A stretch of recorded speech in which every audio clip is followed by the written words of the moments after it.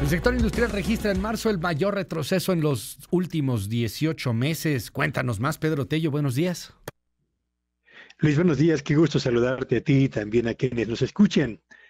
La industria mexicana es, al igual que el sector comercio, servicios y la agricultura o el sector agropecuario, los pilares a partir de los cuales se sostiene la economía de nuestro país.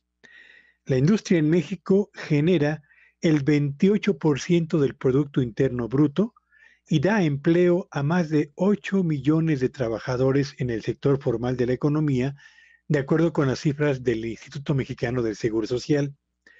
De modo pues que el desempeño de este sector es importante no solo para la economía mexicana, sino también y particularmente para la economía de millones de familias. ¿Qué ha ocurrido con la producción industrial en lo que va de este año? Veamos.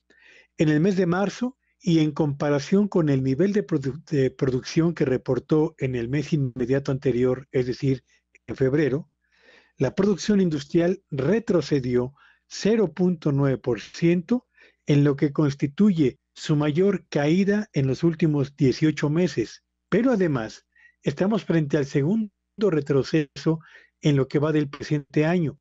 La producción fabril retrocedió en enero repuntó en febrero y vuelve a retroceder en el mes de marzo.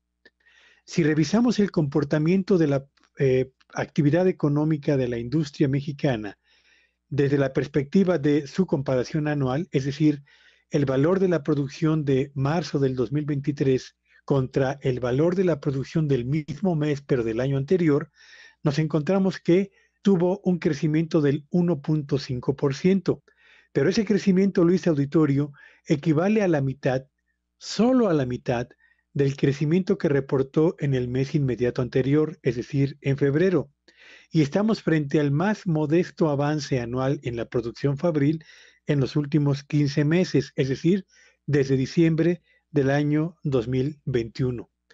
De modo que estamos frente a un sector, el sector fabril mexicano, que ha mostrado un comportamiento totalmente zigzagueante, que no termina por despegar en momentos en los que la economía mexicana requiere precisamente el impulso de uno de sus componentes más importantes para conservar al menos la generación de empleos, y un, y un sector, el industrial, Luis Auditorio, que en el desempeño de su producción durante el primer trimestre de este año presenta números rojos en nueve de las 29 especialidades que dan vida a la industria mexicana. Así que, más allá de los discursos y de las frases que hablan de lo bien que está, al parecer, la economía mexicana, y vaya que hay sectores en los que estamos ciertamente bien, lo cierto es que hay obscuros, hay sombras en el desempeño de la economía mexicana, y una de ellas está en la actividad industrial. Ojalá Ojalá que los números rojos que predominan en este momento en su desempeño se conviertan en cifras más alentadoras justamente en un año en el que todo pinta hacia la desaceleración de la economía y particularmente de la economía de Estados Unidos, principal destino de la oferta de productos industriales de nuestro país, Luis. Gracias como siempre, querido Pedro. Te mando un gran abrazo y te seguimos en tus redes. ¿Cuáles son? Sígueme en Twitter en arroba Villagrán y que tengan un espléndido día. Igualmente es Pedro Tello.